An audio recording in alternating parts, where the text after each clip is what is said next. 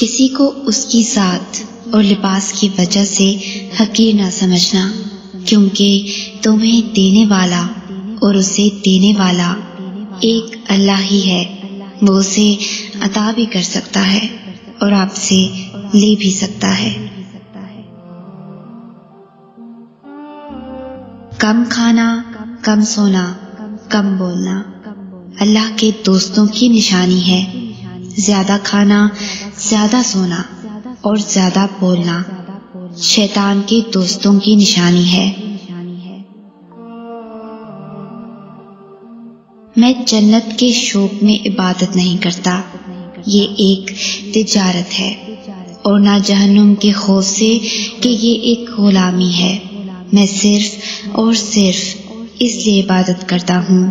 میرا رب عبادت کے لائق ہے۔ دنیا دار کی صحبت اختیار نہ کرو۔ اگر تم تنگ دست ہو جاؤ گے، تو یہ تمہیں چھوڑ دے گی۔ اور اگر مالدار ہو جاؤ گے، تو تم سے حسد کرے گی۔ تمام رشتوں میں سب سے کمزور رشتہ تمہارے جسم اور تمہاری روح کا ہے۔ نہ جانے کس وقت اور کہاں ٹوٹ جائے۔ اپنے جسم کو ضرورت سے زیادہ مت سنوارو۔ اسے مٹی میں مل جانا ہے۔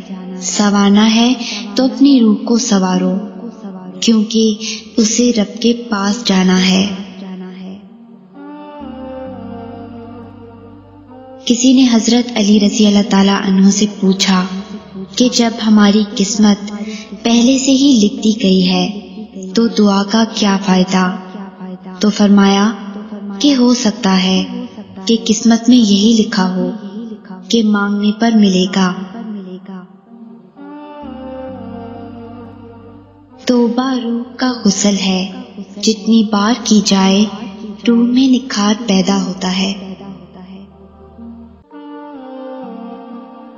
ایک زمانہ ایسا بھی آئے گا کہ لوگ اپنے رب کو بھول جائیں گے۔ لباس بہت قیمتی پہن کر بازار میں اکڑ اکڑ کر چلیں گے اور اس بات سے بے خبر ہوں گے کہ اسی بازار میں ان کا کفن بھی موجود ہے۔